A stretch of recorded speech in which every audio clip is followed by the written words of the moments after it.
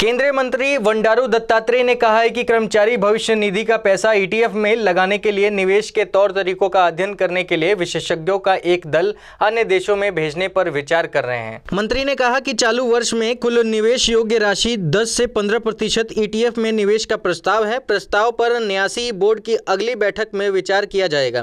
प्रस्ताव का कोई विरोध नहीं होना चाहिए, क्योंकि दीर्घकाल में ईटीएफ में रिटर्न अच्छा है। कर्मचारी भविष्य निधि संगठन की ईटीएफ में मौजूदा निवेश सीमा दस प्रतिशत है। केंद्रीय मंत्री ने बताया कि मैं एक दल जर्मनी, जापान, ऑस्ट्रेलिया और दक्षिण कोरिया भेजना चाहता हूँ, जो वही भविष्य निधि के ईटीएफ के निवेश के बारे में अध्ययन करेगी। इन देशों में ईटीएफ के निवेश 30 प्रतिशत से अधिक है। मंत्री ने कहा कि सिंगापुर में भविष्य निधि का अधिकतर हिस्सा ईटीएफ में निवेश किया जाता है।